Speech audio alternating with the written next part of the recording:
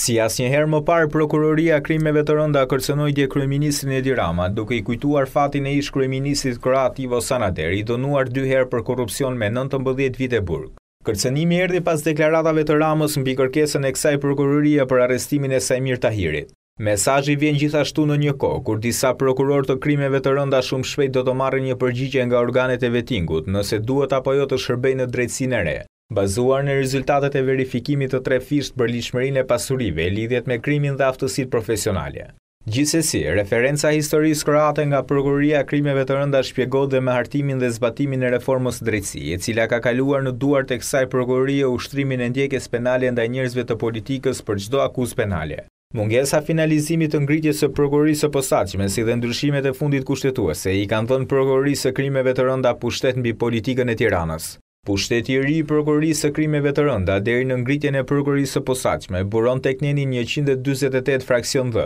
dhe pika dy e nenit njëqind e tridhjetë e pesë të Kushtetutës së ndryshuar. Konkretisht, neni njëqind e dyzet e tetë fraksion dh i Kushtetutës parashikon që Prokuroria e Posaçme, kompetencat e së cilës aktualisht po i ushtron Prokuroria e Krimeve të Rënda, Ushtron ndjekjen penale dhe përfaqëson akuzën përpara gjykatave të posaçme të parashikuara në nenin njëqind e tridhjetë e pesë pika dy të Kushtetutës si dhe para Gjykatës së Lartë.